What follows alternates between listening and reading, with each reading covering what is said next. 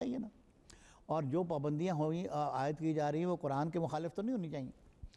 चुनाचे अजीब इतफ़ाक़ की बात है, हमने जो बाज़ आयात पहले अपने पटिशन में कोट की थी, उसमें एक बुनियादी आयत हमने ये कोट की थी, तावन बिर व तखवा वला तावन इसमें वलुदवान कि मुस्लिम और गैर मुस्लिम के कुछ तावन की बुनियादें हैं।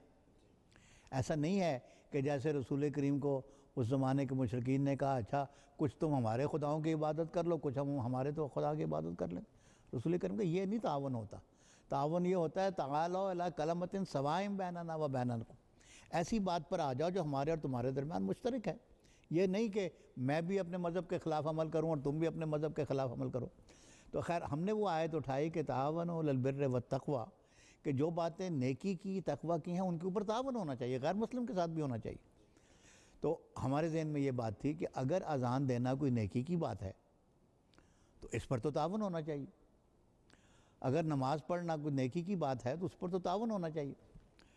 तो जब हम इसका मताल करने लगे, दिलचस्प बात यह है कि जब मैंने आयत निकाली तावन और व तकवा, वला तावन इसमें वलुदवान ज़्यादती के ऊपर, गुनाह के ऊपर तावन नहीं होना चाहिए, नेकी के ऊपर तावन होना चाहिए तो आयत जो शुरू वहाँ से हुई, ला तो हिल्लू शायर अल्लाह वो सूरा माहिदा की शुरू की आयात है।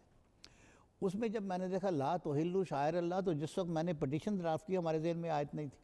आयत का हिस्सा नहीं था। तो ला तो हिल्लू शायर अल्लाह की जब हमने तफसीर देखी तो उसमें जो उसकी शान नज़ूल मिली, वो ये मिली कि हुआ ये कि फ़तह मक्का के बाद हज जब आया तो मशरकिन मक्का भी अपने पुराने तरीके से अपने वो बैलों के ऊपर घंटियाँ बांधे हुए, उनको जो हराम, हज करने के लिए चल पड़े।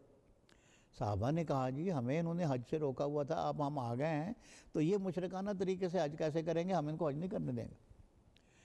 तो शान नज़ूल की किताबों में लिखा है और ये बहुत मुतफ़ा बात है कि उस वक्त ये आयत नाजिल हुई, ला तो हिल्लू शायर अल्लाह अल्लाह ताला के शायर जो हैं, उनको हलाल मत करो, उनको, उनकी बेहरमती मत करो।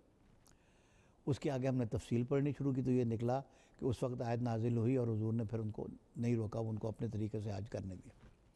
अच्छा ये जब हम आगे पढ़ते पढ़ते जब मुख्तलिफ़ तफसीरें निकाली, वो सारे हवाले मैंने पढ़ के सुनाए कि अगर किसी मुसलमान की और किसी मुशरक की या गैर मुस्लिम की कोई बात, कोई शायर जो है मुश्तरक हैं तो उनसे तो आप नहीं रोक सकते। ये आयत बताती है। चुनाचे जब मैंने वो निकाली तफसीर तो मौदूदी साहब की तफसीर भी मैंने पेश की, पुरानी अरबी तफासिर भी। मेरा तरीक यह था कि मैं तकरीबन बारह तफासिर हर आयत के बारे में पेश करता था।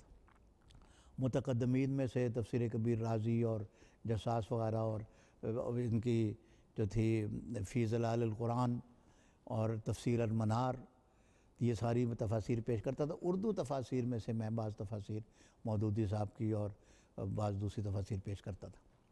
तो जब मौदूदी साहब की तफसीर निकाली तो उसमें ये लिखा कि उन्होंने मौदूदी साहब ने वाजे पर लिखा, वाज तौर पर लिखा कि अगर कोई कदर मुश्तरक है तो उसमें नहीं रोकना चाहिए, अगर वो नेकी का काम करना चाहता।